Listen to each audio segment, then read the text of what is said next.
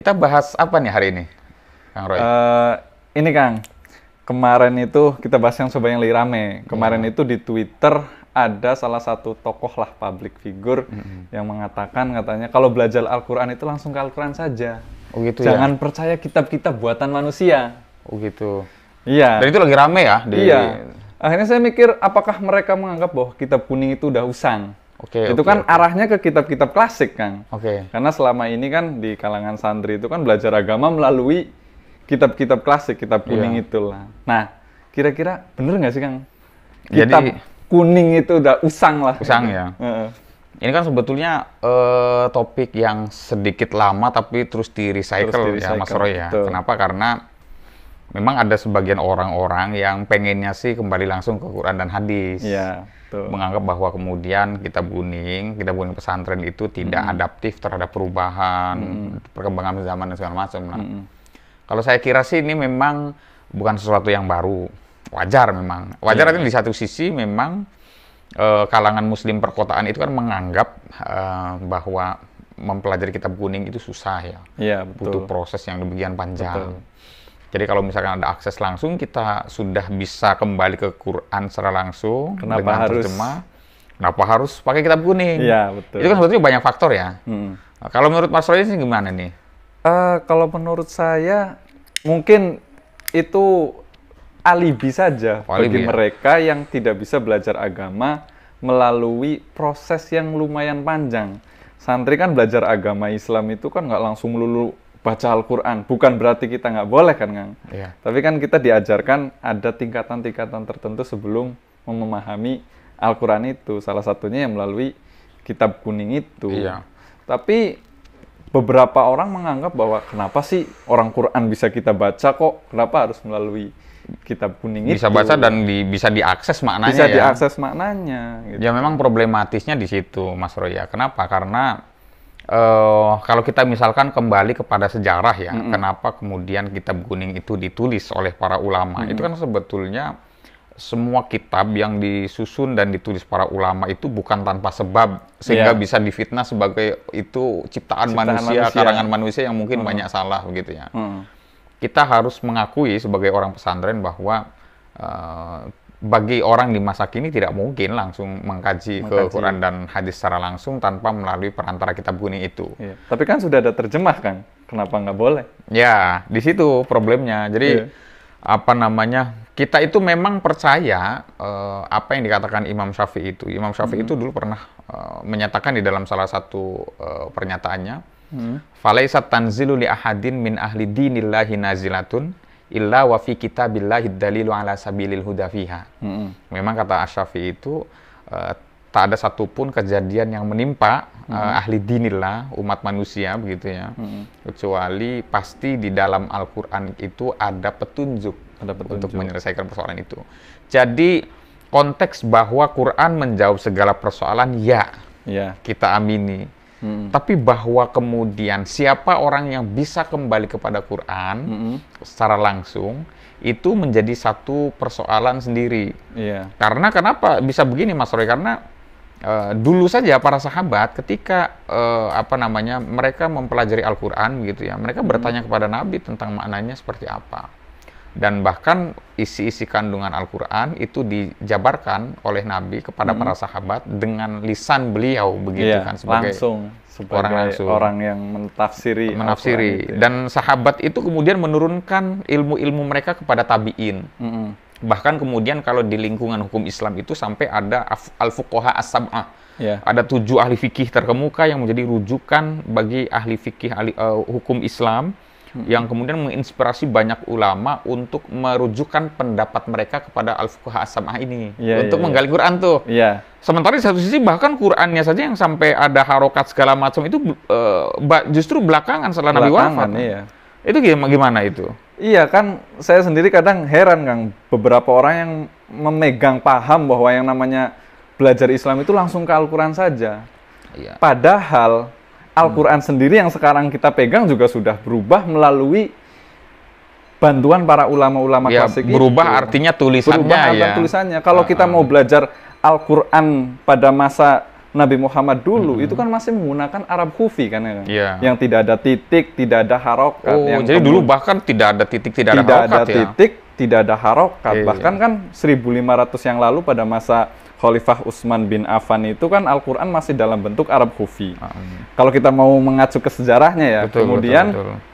eh, pada masa itu banyak pemeluk agama Islam yang baru dari luar Jazirah Arab Oke. yang kemudian susah memahami Al-Quran dan membaca Al-Quran karena tidak ada titik, nggak bisa membedakan ba, ta ataupun nun misalnya. Itu mulai zaman siapa ya?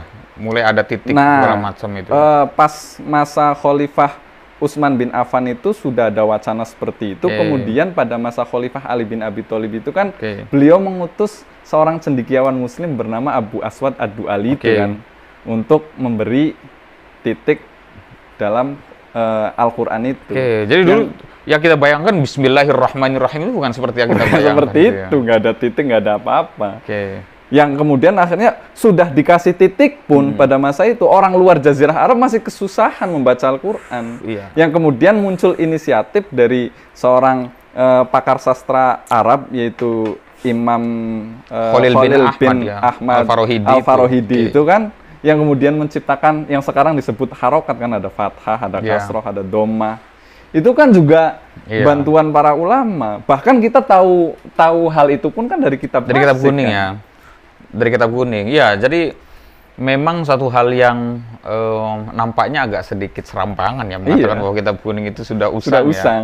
Karena memang kalau kita kaji misalnya kitab kuning itu kan merupakan satu platform ya, satu platform sekaligus sebagai hazanah yang diwariskan Iya. oleh ulama di masa lalu. Memang problemnya adalah eh, apa namanya?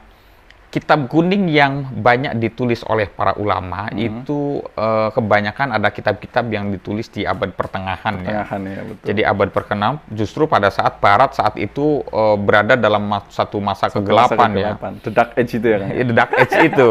Kalau lihat film-film itu Iya, kan. The Dark Age. Nah, itu justru masa Islam itu sangat muncul dengan ke- kemasannya. Kemasan. Nah, maka ada satu anggapan bahwa kitab kuning yang difahami orang di masa kini hanya berbicara soal fikih. Soal fikih, betul. Padahal kitab kuning yang ditulis oleh para ulama di masa lalu Hmm. itu bahkan sampai sekarang masih menjadi standar-standar rujukan di beberapa pengembangan ilmu pengetahuan di masa kini. Seperti karya yang ditulis oleh eh, Ibnu Sina misalkan Al-Qanun fit Tib, itu kitab Hmm. Iya. tentang kedokteran. Tentang kedokteran. Kemudian tentang matematika kita punya Al-Khwarizmi dan Al-Khwarizmi. seterusnya ya. Bahkan ada musik kan. Ada ada musiknya ya. Iya, ada kita musik Ibnu Khaldun itu. Musik Ibnu Khaldun itu Iya. menarik. Beliau tuh se- sebagai seorang antropolog se- sekaligus sosiolog, Sosiolog. yang teorinya juga banyak dipakai Iya. gitu. Jadi mengatakan bahwa kitab kuning itu usai itu saya melihat itu sebagai satu persoalan ah, ahistoris. Iya, Cuma betul. persoalannya begini. Apa namanya? Coba deh kita masuk ke alam imajinasi apa sih yang dipayangkan oleh orang tadi itu, Hmm. Mas Roy, yang di Twitter itu kenapa itu? Kira-kira apa yang dipa- di, Kalau- di, di- ini ya? Iya, di benak mereka itu Di benak apa? mereka apa ya gitu ya? Kalau yang saya pahami ya Kang, Oke. orang-orang seperti itu berpikiran bahwa yang namanya kitab kuning itu bukan rujukan asli Islam karena mereka menganggap bahwa rujukan satu-satunya beragama Islam itu Quran dan hadis. Harusnya Quran Harusnya dan hadis. Quran dan ya. hadis. Mm-mm. Sedangkan memahami menggunakan kitab eh, kuning, misalnya kitab Hmm. klasik itu, itu kan bukan masuk dalam kategori dua itu tadi. Iya. Jadi benak mereka tuh yang namanya lurus kan, makanya kan kalau dalam eh, bahasa akademisnya orang-orang seperti itu kan orang-orang yang lit, letterlek lah seperti Iya. itu, yang hanya mengacu pada ya Al-Quran gitu. Iya. Makanya saya tidak bisa membayangkan begini, Mas Roy. Misal nih, Deddy Corbuzier masuk Iya. Islam, begitu kan? Eh, Seorang Deddy Corbuzier tiba-tiba dia dido- mendapatkan indoktrinasi. Om Ded, belajar sholatnya langsung ke Quran. Iya. Belajar sholatnya langsung ke hadis. hadis. Saya tidak membayangkan Om Deddy Corbuzier itu akan semabuk apa ketika mendapat doktrin itu. Bagai, bayangkan iya, dia, betul. gue selama ini nggak pernah interaksi tuh dengan bahasa Arab Bahasa begitu ya. Arab. tidak berinteraksi dengan Quran dengan hadis gimana saya saya cara saya belajar sholat Hmm. bagaimana saya tahu tata cara sholat kan gitu ya let's say katakan bahwa kemudian kita bisa belajar itu dari buku-buku terjemah tentang tata cara sholat Iya. Nah ki- kita kan sebetulnya sedang berguru juga sama orang Sama itu kan orang yang menulis terjemahan Sama, itu. saya menulis terjemahan itu Iya, betul. dan orang itu tidak serta merta menulis dan menyusun buku tentang tata cara sholat juga dari eh, pandangan dia langsung merujuk pada Quran hadis. Iya. Karena di sholat itu, karena di Al-Quran ya, itu tata cara sholat, praktik sholat tidak dijelaskan secara terperinci. Betul. Dia dari hadis. Dan hadis pun tidak sampai menjelaskan, mem- memilah-milih bahwa kemudian ini sunnah, ini rukun. Di dalam sholat begitu Iya, ya. betul. Itu kan semuanya ulama tuh yang nyusun itu. Iya. Lah terus apa namanya? Bagi saya nggak ya not apa it doesn't make sense gitu. Iya, Kalau misalnya betul. mengatakan langsung kembali ke Quran dan hadis, mengang seraya dengan Mengesampingkan. mengesampingkan, bahkan menuduh Quran eh, apa namanya kitab-kitab yang ditulis para ulama itu eh, sudah usang Sudah ya usang. begitu. Betul. Mungkin mereka memikir juga apa berpikir juga bahwa Quran itu kan solihun likuli zaman wa makan kan ya kan. Hmm. Tapi kan kalau kitab kitab klasik itu nggak solihun likuli zaman wa makan. Jadi makanya mikir lah ini kan kitab-kitab ditulis pada Produk abad, abad pertengahan. pertengah, oke. Sekarang udah generasi 4.0. Oh masa masih mau make Kitab kitab, kitab kuning gitu kan. Sekarang Iya. udah bentuk digital kok sekarang masih ngomongin apa kitab-kitab kuning gundul itu. Jadi mereka berpikir bahwa ya udah ini saatnya kembali ke Al-Qur'an gitu. Hmm. Kalau menurut saya sih gini Mas Roy ya. Jadi eh, memang kita harus akui bahwa eh, satu produk pemikiran itu merupakan satu produk yang lahir karena tantangan di zamannya. Di zamannya. Ya, karena tantangan di zamannya. Artinya kitab kitab kuning yang sekarang itu jauh ditulis Jauh sebelum ditulis, Facebook, betul. Twitter, Twitter, YouTube, YouTube itu ada. ada. gitu ya. Iya, iya. Tapi kalau kalau kalau kita mau jalan-jalan deh ke pesantren, Mas Roy ya. Kita ke situ Bondo misalnya. Iya. Di situ Bondo, apa yang dikatakan sebagai produksi kitab kuning itu masih dilakukan oleh Ki Afifuddin Muhajir misalnya. Dan banyak para ulama sekarang, eh, kiai-kiai kita itu banyak yang sangat produktif. Misalkan Ki Afifuddin Dimyati itu, sedang Dr. Afifuddin Dimyati. Beliau banyak menulis tentang eh, terkait dengan tafsir kan. Tafsir. Kan eh, eh, Jamul Abir, an Kubit, Taf- Tafsir dan seterusnya begitu ya. Artinya upaya untuk sesungguhnya upaya untuk meneruskan paradigma keislaman klasik berdasarkan eh, apa namanya tantangan, di zaman kita. zaman ada. itu. Di situ Bondo itu riset-riset fikihnya sudah modern, Mas Roy. Sudah modern. Bahkan ada satu eh, tesis fikih sportivo coba. Wis.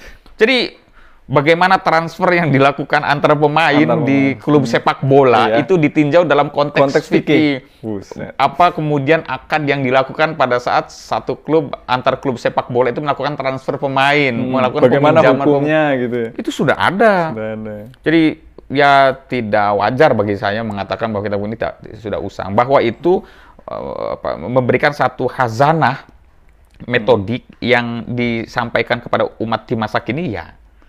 Ya. Nah, terkait yang sampean bilang tadi itu saya jadi Iya. ingat perkataan Imam Syahrostani itu dalam Iya, kitab oke. Al-Minal Hal itu yang mengatakan an-nasu mutanahin wal waqa'i ghairu mutanahin. Oke, oke, oke. Itu kan ya. kan? Menarik, menarik. Yang lah nas Al-Qur'an itu kan terbatas. Oke, oke. Teks itu kan terbatas, sedangkan wal wal waqa'i ghairu mutanahin.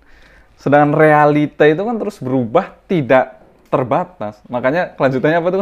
Oh. Kul ukul la yatanaha, layatan- kullu ma la yatanaha, la yabituhu ma yatanaha. Bagaimana sesuatu yang eh, terbatas itu mencakup sesuatu yang tidak terbatas gitu. kan. Makanya kan kata Imam Syahrustani, Imam Syahrustani itu fal ijtihadu wajibun itu. Nah, Iya, yang iya. dilakukan oleh situ Bondo itu kan dalam rangka ijtihad itu Iya. kan menyesuaikan nas yang terbatas itu di Ya. sesuaikan dengan tantangan zaman sekarang transfer sepak bola seperti itu. Makanya Iya. saya heran kalau misalkan ada orang memahami Al-Qur'an tanpa harus melalui kitab-kitab misalnya langsung Al-Qur'an. Ya bagaimana kita mau tadi ijtihad itu? gitu. Iya, saya sepakat ya dengan perkataannya Syahrostani. Iya, Syahrostani. Jadi artinya gini ya, sebetulnya eh, kalau kalau saya ya mencoba untuk menganalisis secara lebih jauh nih, Mas Roy ya. Jadi oke lah kita coba untuk masuk ke alam imaji si pembuat satu pembuat itu ya. pembuat satu itu. Oke, bahwa let's say dia mengatakan bahwa Quran itu mutlak benarnya. Sebenarnya. Sementara apa yang diungkapkan oleh para ulama itu eh, kebenarannya Kebenaran bersifat relatif. eh, relatif ya zoni gitu kan. Maka alangkah baiknya untuk kembali kepada satu sumber rujukan yang benar, begitu kan, dengan mengabaikan eh, ruju- sumber-sumber rujukan manusia, Betul. per- eh, por- eh, hasil produksi manusia yang eh, kebenarannya bersifat relatif. Let's say itu benar ya.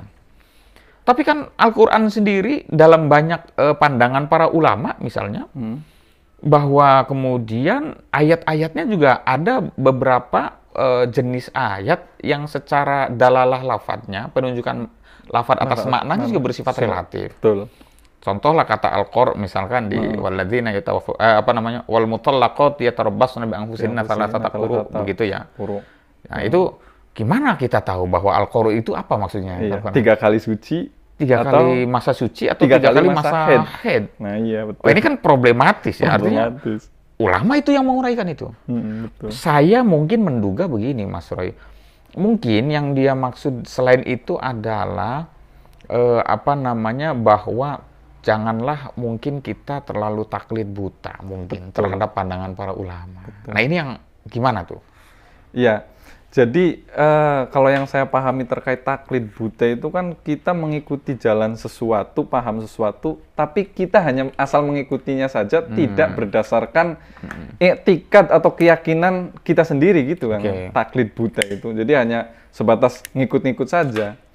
Ya. Jadi taklid itu kan harus dibarengi dengan sikap kritis itu. Tapi bukan berarti sikap kritis itu lepas dari pondasi awal mengikuti para ulama itu karena kita sadar betul kan kemampuan kita sekarang itu jauh di atas rata-rata kemampuan para ulama zaman dulu dalam memahami Al-Qur'an itu. Ya karena taklid eh, soal ini ya taklid dan mutabi gitu ya. Iya. Saya kira bagi orang-orang yang eh, pemahaman agamanya juga masih eh, awam begitu Iya. kan. Saya kira taklid itu bisa menjadi wajib malah di dalam Malah konteks wajib? fikih ya. Oh, dalam konteks fikih dalam itu konteks wajib. fikih. Oke. Sementara kalau dalam kalau dalam, dalam konteks akidah itu kan Nah. eh, tidak boleh ya. nah itu. Taklid itu kan harus betul betul. eh, betul. bahkan saking wajibnya eh, untuk eh, berijtihad dalam konteks akidah Mm-mm. itu Al Imam Al Ghazali itu dalam Al Iqtisad fil I'tiqad itu bahkan Hmm. Sampai tanda kutip ya membenarkan kalaupun ada orang awam yang awam. menganggap Tuhan itu punya mata, Tuhan Tuhan itu punya punya tulang. tangan, Heeh. punya apa namanya? ya punya mata dan punya tangan, punya wajah sebagaimana Hmm. yang digambarkan Al-Qur'an dalam makna literalnya ya ya nggak apa-apa lah gitu kan Iya, itu. betul betul betul. itu kan saking artinya tuntutan dalam berins- eh, tidak bertaklid di dalam Hmm. konteks akidah itu eh, masih tanda kutip dibenarkan ya. Iya. Cuma kalau dalam konteks fikih kan nggak bisa. nggak bisa. Iya, iya, harus betul, ikut betul. ulama, Betul. harus kit- harus kembali kepada kitab kuning. Jadi taklid ini secara garis besar bisa dibagi dua lah ya kan. Ada yang memang bersifat wajib, ada yang bersifat relatif tadi itu. Relatif. Kalau dalam hukum Islam itu ya kita harus wajib taklid gitu. Wajib taklid bagi ba- bagi orang awam yang orang belum awam. sampai kapasitas untuk bisa menggali. Iya. Artinya gini, kalau kita lihat ayat wudhu aja Mas Hmm. Di dalam ayat wudhu itu kan ya ayyuhalladzina amanu idza qumtum ila sholati faghsilu wujuhakum wa aydiyakum ilal marafiq. Wamsahu biruusikum wa arjulakum ilal ka'bayn. ilal Ila akhiri kan gitu ya. Nah. Kita kan nggak tahu kalau ngelihat secara teks di situ tidak ada niat. Iya. Kan begitu ya? Dari mana tahu niat itu wajib? Dari mana tahu niat? Wong dia eh, apa namanya wudhunya akhirnya praktiknya juga harus niat. Iya, betul. Dari mana dia tahu bahwa tartib itu menjadi wajib? Menjadi wajib. Kenapa dia tidak memilih bahwa Al-Quran itu yang penting ada membasuh muka, membasuh kedua tangan, membasuh tangan, kaki, membasuh mengusap kaki. sebagian kepala? Iya. Kenapa dia nggak berani untuk eh, mencoba berangkat dari Berangkat kaki? dari kaki. Misalkan kan gitu Iya, ya. Betul. Jadi artinya kita tantang balik mereka. Kalau begitu fikihmu langsung merujuk ke Quran dan sekarap-karap sendiri kan gitu Iya. ya. Padahal kita kan tahu niat itu wajib, baca Fatihah itu masuk ke rukun eh, sholat juga dari kitab-kitab klasik itu. Betul. Dari kitab-kitab klasik. Iya. Atau misalkan kemungkinan eh, analisis saya terakhir adalah bahwa dia mengatakan kitab kuning ud- sudah usang. Mungkin dalam perspektif yang lebih luas ya karena menganggap bahwa pesantren itu tidak banyak melahirkan eh, akademisi, Akademisi. yang misalkan bisa eh, bergerak di bidang teknologi Oh, misalkan iya, iya, atau iya, misalkan iya. Tidak ma- mampu menghadapi tantangan, Tantangan zaman. zaman. Kalau ini problemnya dulu juga saya pernah me- sekitar tahun 2014 2013 itu pernah membaca satu tulisannya Prof Renal Kasali. Hmm. Prof Renal Kasali menga- mengatakan dia memang konteksnya bukan ke pesantren ya. Iya, dia iya. hanya mengatakan bahwa ilmu-ilmu sosial itu eh, saat itu kebutuhannya adalah untuk memberikan beasiswa LPDP ya. Iya. Jadi kata Prof Kasa- Prof Kasali mestinya di Indonesia ini rumpun ilmu sosial itu sudah mulai harus di- dikurangi, Dikurangi. porsinya. Kenapa? Karena banyak sarjana-sarjana sosial yang tidak berkontribusi banyak terhadap, terhadap- pembangunan dan perkembangan teknologi, Iya, iya, iya, tidak siap pakai, Betul. mungkin Hanya siap kembang. hanya siap kembang, gitu Gitu kan rata-rata kita kayak seperti itu. Iya, orang-orang sosial kan larinya ke politik. Iya. Ya mohon maaf, eh, orang pesantren ya artinya menjadi guru agama, kemudian eh, berdakwah di masyarakat, tapi secara real eh, dianggap bahwa tidak bisa menggerakkan perubahan ekonomi, eh, menggerakkan ekonomi, tidak bisa kemudian mengembangkan teknologi. Teknologi.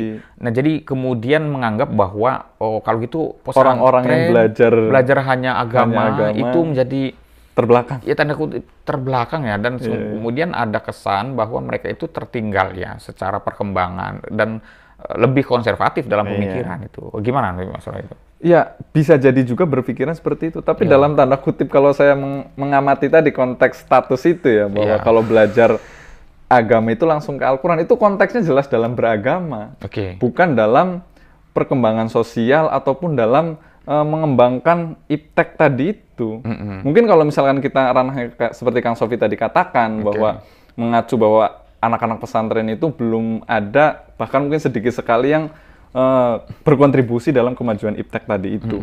Nah itu kan terkait dengan metodologi Kang, Iya. bukan terkait dengan kitab kuning tadi itu. Jadi tidak ada hubungannya Ta- dengan tidak kitab ada kuningnya hubungannya ya. kitab kuningnya tapi dengan metodologi pembelajaran di pesantren saya kira Oke. sih seperti itu apalagi mungkin oke kalau tadi metodologi mungkin ada usangnya tapi kan kalau ilmu ilmu pengetahuan kan nggak ada usangnya kan Tidak pernah usang ya. tidak pernah usang kecuali teknologi hitungan bulan aja kan sudah terlihat usang Iya. model-model HP Android seperti itu kan Windows Iya. itu hitungan bulan itu majunya cepet banget tapi kalau ilmu pengetahuan coba sampai detik ini kita masih bahas-bahas teori-teori bahkan psikologi Islam saja itu kan babonnya itu Ihya Ulumuddin itu mengacu Betul. pada Oh, karena Mas Roy sendiri uh, S2-nya psikologi iya, ya. psikologi Islam itu mengacunya Oh, malah oke. pada ulama-ulama kas ulama klasik itu Siapa Ibnu tuh contohnya? Miskawai, Oke. Imam Al-Ghazali, bahkan ada Ibnu Sina, bahkan teori-teori psikologi Islam itu diambil ya dari Oke. dari mereka. Jadi artinya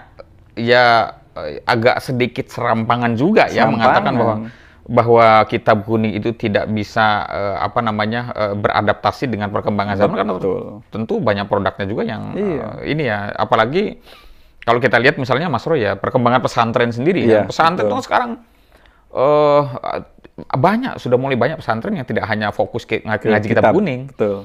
ada di Buntet sendiri misalkan ada SKMK Mekanika, mendirikan Iya. SMK Mekanika. Kemudian ada beberapa pesantren yang eh, me- apa namanya mengembangkan konsep pesantren ekologi. Iya. Ada Belum satu lagi yang agrikultur. agrikultur. Nah, ada lagi pesantren yang ini yang menarik ya. Kemarin itu ketika momen muktamar pemikiran santri, ada Hmm. salah satu peserta yang eh, apa namanya eh, dia bercerita tentang pesantrennya yang Hmm. santri-santrinya itu dididik bagaimana untuk bisa menciptakan satu gas alternatif Hmm. pengganti bahan bakar yang diperoleh dari proses eh, apa namanya Kotoran. eh, proses dari kotoran manusia Iya, itu kemudian betul. diubah menjadi Biogas. gas biogas itu Iya, betul. dan itu di beberapa di ada beberapa pesantren yang sudah mengembangkan sampai ke arah situ. Jadi jadi ya ya ala kulihal memang akhirnya juga menjadi tidak relevan ya mengatakan bahwa eh, pesantren itu ya Kitab- apalagi kitab kuning sudah kitab kuning usang sudah gitu usang. ya. Tidak. Apalagi pesantren kan core-nya tentu tafakufidin ya. Ya, Jadi betul. artinya memang tujuannya ya untuk memperdalam Untuk ilmu agama. agama. Dan kita tidak bisa berharap bahwa alumni pesantren dia langsung tiba-tiba menjadi Jadi profesor profesor, betul. alumni pesantren bisa menjadi pakar ekonomi. Betul. Tetap harus ada kepentingan dia harus lanjut juga kuliah S1 dan itu bisa di luar negeri di segala macam kan gitu ya. Iya. Jadi gimana nih eh, kesimpulan kita eh, Ya, hari ini? mm, Kalau saya sih menyimpulkannya gini kan, kalau dikatakan Oke. kitab kuning usang itu, saya kira itu salah besar. Hmm. Karena seperti yang tadi Kang Sofi katakan, bahkan dalam ilmu kedokteran juga masih banyak yang merujuk pada ulama-ulama klasik kan, Hmm. masih dipakai karena Dipakai ya. ilmu pengetahuan itu kan tidak ada usangnya. Baru kalau bicara metodologi mungkin ada usangnya. Pun sekarang kata Kang Sofi tadi kan pesantren-pesantren juga sudah menggunakan metodologi-metodologi Oke, baru oke, dalam oke, oke. eh, pembelajaran di pesantren itu kan. Oke. Kalau menurut Kang Sofi sih gimana ini? Jadi kalau menurut saya sih, saya menduga ada tiga alasan utama yang sekaligus bisa menjadi bantahan saya atas Iya. apa tadi yang trending di Twitter Iya. itu ya. Bahwa yang pertama adalah tidak mungkin manusia di masa kini Hmm. yang sudah eh, apa mengalami fase sampai 14 abad 14 lamanya ya. abad yang Kemudian lamanya, kita tiba-tiba langsung kembali ke Quran hadis. Ya, secara bypass ya, padahal bypass. Oh, betul. pengajaran Quran itu sudah ditransmisikan dari Nabi ke sahabat tabiin para ulama. Itu kan legacy tuh Iya. yang sangat sanadnya jelas. sadar itu sudah jutaan kitab yang sudah ditulis kan gitu kan artinya eh, bahwa kemudian dianggap itu tidak aplikatif karena bagi orang sekarang itu agak menjadi semakin sulit untuk mengaji kitab kuning. Saya kira problemnya adalah sudah banyak kok upaya-upaya untuk menerjemahkan kitab kuning dalam versi-versi yang lebih mudah difahami. Dan saya rasa itu lebih eh, bisa dipertanggungjawabkan secara ilmiah kita kembali kepada kitab kuning ya karena orang-orang yang menulis kitab kuning itu bukan orang-orang sembarangan Mas Roy ya. Betul. Mereka itu orang-orang yang sudah terdidik secara keilmuan. Uh. Eh, bahkan dalam kitabnya dalam bukunya George Makdisi itu dalam cita humanisme Islam jelas dikatakan dulu eh, apa namanya seorang ini misalnya Imam Ar-Romli ya ketika mau menerbitkan kitabnya dia diskusikan dengan 400 ulama di zamannya dulu. Jadi untuk mencari tahu mana kelemahan pendapat saya. Nah, ini yang menarik ya betul. Itu. Betul betul betul. Ada empat di, di bukunya Islahul Fakih itu karyanya Dr. Haitham bin Fahd Ar-Rumi itu jelaskan Ar-Romli saking hati-hatinya ingin menerbitkan kitab, dia diskusi dulu dengan 400 ulama di zamannya. Jadi kan berat, betapa saking ilmiahnya Ilmiahnya luar biasa. karya dan seorang pengajar di Madrasah An-Nizam di zaman dulu Nizamiyah Hmm. itu juga dia harus punya kualifikasi akademik tertentu. Sama itu Imam Syafi'i ketika merumuskan tentang haid itu kan langsung penelitian, Itu benar-benar eksperimen, eksperimen dengan- wawancara. dengan istiqro kan gitu, Iya, metode induktif. Dia Benar-benar. tanya langsung Iya. kayak orang survei Orang ya survei. sekarang kan. Jadi metode ilmiah sudah dipakai loh oleh Imam Syafi'i oleh ulama di masa betul, lalu. betul. Bukan kemudian dia mikir apa gitu kan. Nah, itu Bahkan kayaknya universitas sekarang juga mengikuti metodologi ulama klasik. Iya, dikira kan? ulah kok, Coba klasik. kitab-kitab klasik itu kan udah ada footnote. Betul. Kita kan mengenal footnote di perkuliahan. Betul. Padahal di pesantren itu footnote itu dari kitab klasik itu sudah ada footnote-nya. Betul. Terus tadi misalkan wacana tadi harus mewawancari 400 ulama. Iya. Itu kan kalau dalam dunia perkuliahan ada expert judgment itu kan. Nah, iya Ketika betul. kita membuat penelitian Iya. harus ada expert judgment. Ulama terdahulu itu sudah melakukan itu Betul. jauh sebelum Iya. dunia kampus itu diciptakan kan. makanya ya ini kan? sebagai bantahan gitu ya. bantahan telak ini.